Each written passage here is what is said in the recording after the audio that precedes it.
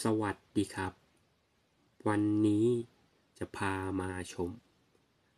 พระสังกัจจาย เนื้อเข้าสารเสก หลวงปู่เรือง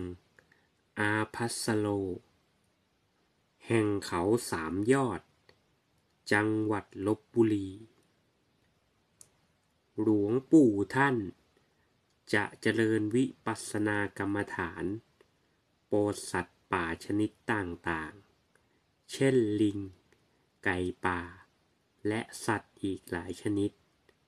เลี้ยงจนสัตว์พวกนี้เชื่อง มารับอาหารจากมือท่าน นอกจากนี้ ท่านมักสนทนาธรรมกับญาติโยม ที่ขึ้นมากราบท่านบนเขา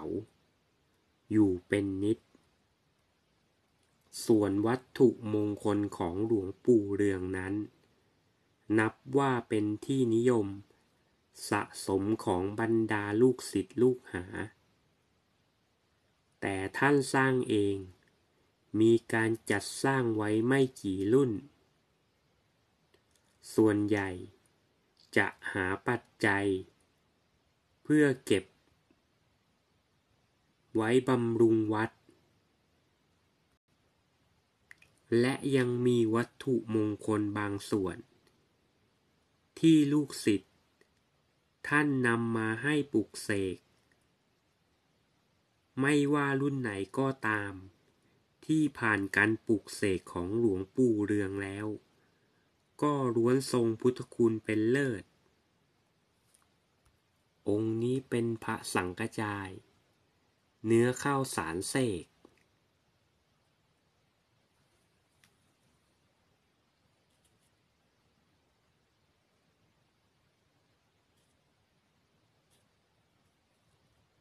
ด้านล่างจะมีตอกยันไหมนะครับ